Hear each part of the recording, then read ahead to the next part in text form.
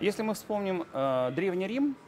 э, и римское право, то кодексы римские, по которым, в общем-то, потом жила и Европа, и потом мы взяли за основу много оттуда, из Древнего Рима, они были кодифицированы в, там, в 5-6 веке нашей эры э, специально для того, чтобы упростить вообще понимание этих законов. Э, законов было так много за многие столетия жизни Римской, Римской республики и империи, что нужно было их как-то соединить, кодифицировать, лишнее отбросить и сконцентрировать э, для того, чтобы было понятно, где защищаются твои права, а где права не защищаются. Что касается нашего законодательства нового, те кодексы, которые вступили в силу в середине 90-х годов, например, Гражданский кодекс 1 января 1995 года вступил в силу, и с этого момента все советские законы у нас вроде отлетели в сторону, а, по, по истечении уже почти 15 лет э, требует дополнения изменений, потому что слишком много появилось боковых законов, ну в кавычках боковых, э, которые многие даже юристы профессиональные понятия не имеют, где искать,